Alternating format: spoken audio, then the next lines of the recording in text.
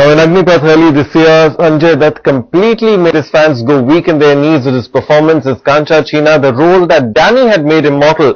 And now Sanjay Dutt is ready to do yet another similar, similar feat with Zanjeer remake.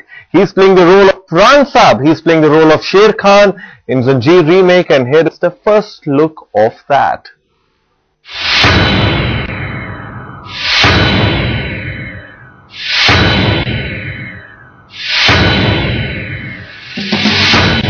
This was Sher Khan in 1973.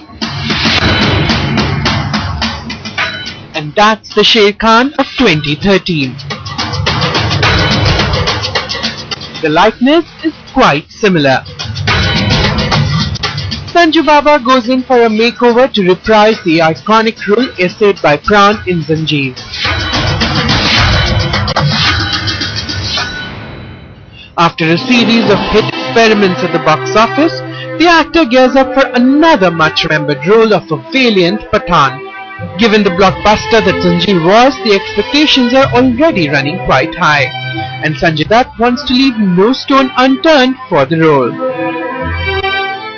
So with a new hairstyle and a beard resembling that of Pran in original Zanjeer, the actor seems to be giving the role his best shot.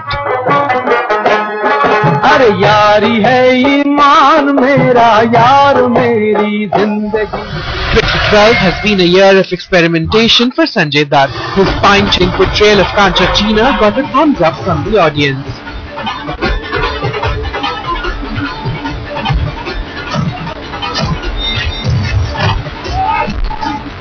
He tickled a funny bone in his role of Funny Paji in Son of Sardar.